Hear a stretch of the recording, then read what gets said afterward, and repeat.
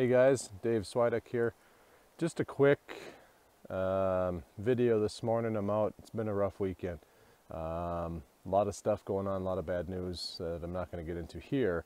But I'm out this morning enjoying some of the nice early September weather and realizing that no matter what's going on, there's still uh, a lot worth living for. And um, I wanted to still get a video up this weekend and try and stick to my schedule of once a weekend at least.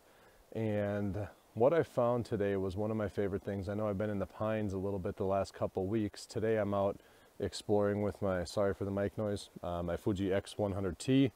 Just playing around a little bit, keeping it lightweight. But one thing I love on days like today, which you can probably see it's nice and sunny out, um, but things I love, and I'm gonna spin the camera around here, is when you get all of these areas where the light's coming through the trees and you're seeing um, just these little splashes of light all over. And when you combine that with uh, the fact that the light's now coming through these trees and hitting um, the leaves that are starting to change. We're in early September here, um, and we're starting to get a little color show up. So it's really kind of a, a special time of year. The light has a little different quality to it. There's a little coolness in the air.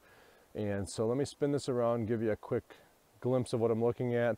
I did shoot some other short video pieces to kind of show some of the colors changing and things like that. And I'm going to try and add in some um, pictures I've been taking as well um, to this video. I do apologize for the video being shaky. Um, hurt my shoulder I'm holding the camera with here so my hand's not in the frame and uh, dealing with something there so I'm not sure what's going on. But anyway, again, this is Dave Szweduik. Let me spin this around and we will take a quick look at what I was talking about and I'll let you guys get back to Sunday.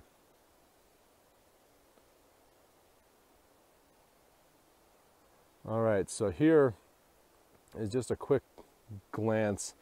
Um, I mean, this one isn't the best example because there's kind of a lot of light spilling in here, but some of the things I love to try and capture, even down here, you see how that light is just kind of dancing under that pine tree here. Um, this might not give us the best example of it.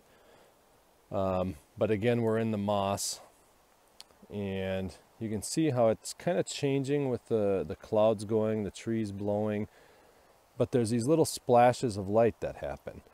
And it's almost like uh, nature likes to throw these and kind of just shine a little spotlight on things for us. Um, the other spot, which is a little cooler and hopefully this picks up on it, but you can see some colors here on a small maple.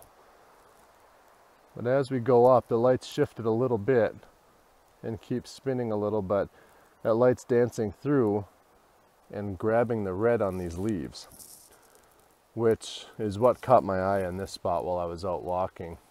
Um, like I said, I do have some photographs of this uh, tree as well as a few other things, but um, for now, that'll do it for this week. Uh, I don't think I'll have any other videos coming up. So you guys take care, love your family, give everyone hugs, and happy shooting.